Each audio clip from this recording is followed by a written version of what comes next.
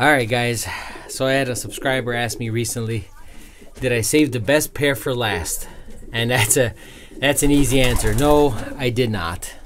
Uh, the last pair is simply a consequence to me allowing Gingerbread Man to have two boxes.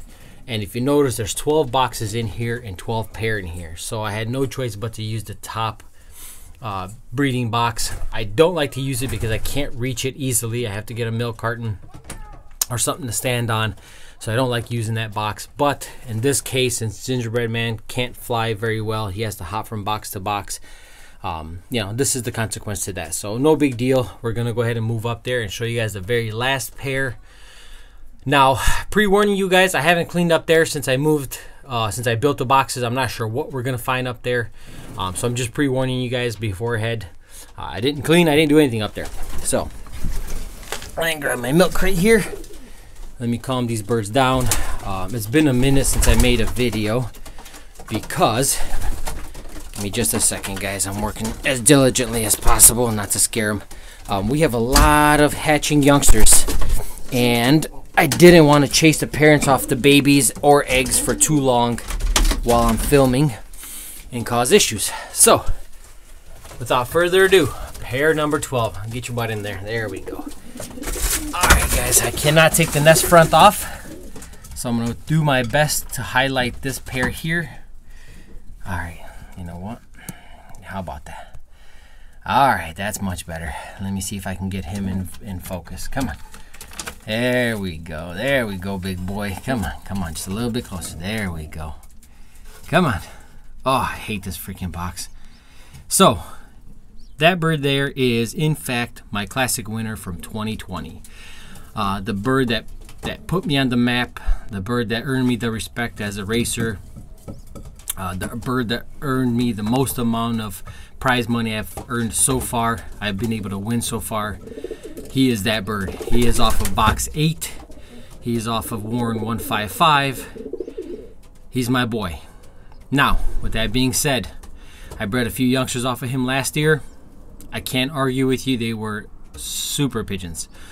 I didn't get any winners. I didn't any get didn't get anything that was, uh, you know, performance-wise on top, because I had a very, I wouldn't say a poor season. I had a pretty good season. I started, you know, right out the hole uh, with the win, and then I ended with the third place win. So I really can't argue, but it was a tough season to say the least. A lot of the races were short.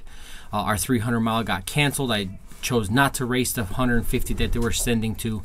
Um, a lot of the southwest wind was dragging the birds into Detroit, and I am far about 15 or 16 miles, probably even further than that, uh, outside of that, southwest of that. So actually, no, it would be um, northwest of Detroit.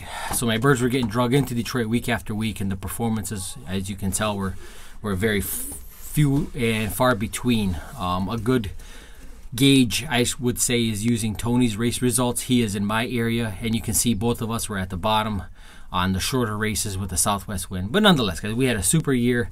Uh, I ended up with two youngsters off of him, two nest mate cockbirds. They ended up being red because I mated them over a red hen last year.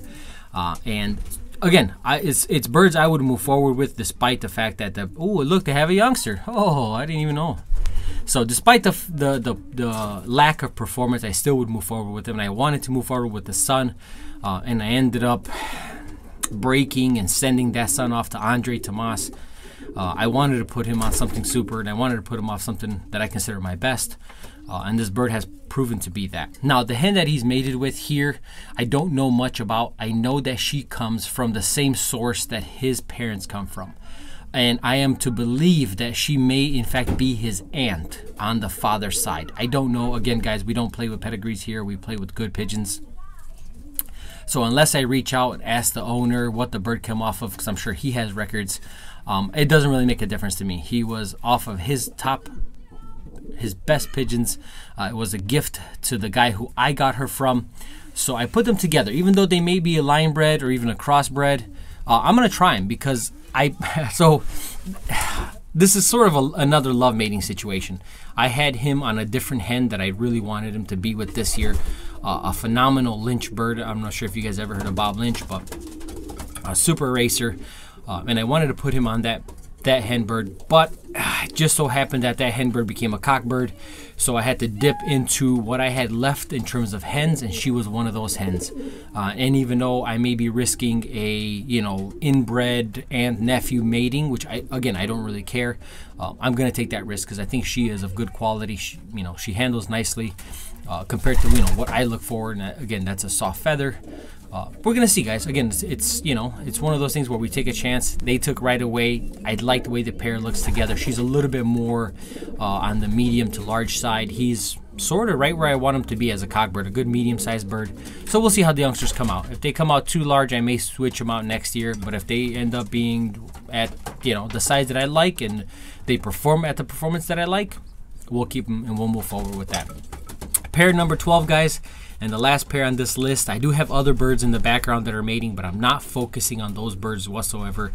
If I do get a youngster or two, I will be racing them. I race everything I have. I don't keep anything for stock uh, unless it's old.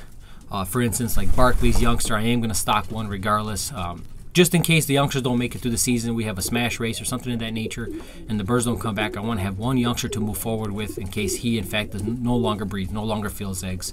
So apart from that, everything's going to be tested, everything's going to be raced, and I am going to move forward and you know film those those uh, race results as well and show you guys how they're doing in case you know you got a couple guys want to follow along. I'll have that information out at the ready. And as you may notice, there are youngsters in the bulls and we've had some ups and downs and we'll cover that on the next video guys. I just wanted to finish off this series with pair number 12 i call him cw classic winner. And her i have not given her name yet. Let's see if she earns her spot for next year before we start naming her. So pair number 12 guys